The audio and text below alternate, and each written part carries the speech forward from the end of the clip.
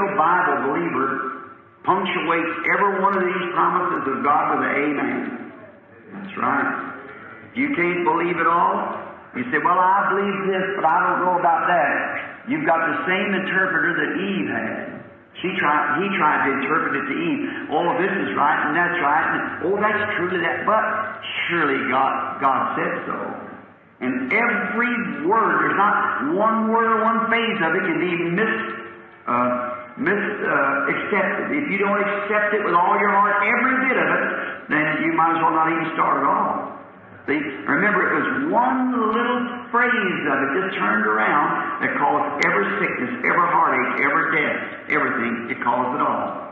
Just by misbelieving one little phrase caused all this. Do you think just deliberately walking over one little phrase will get you back when people don't accept half of it sometimes and then call themselves Christians? Yeah, See? See, it's all right, every bit of it. It's just got to be put together, and there's only one can do it. That's the Holy Spirit by interpreting it by His own fulfilling what He said He'd do.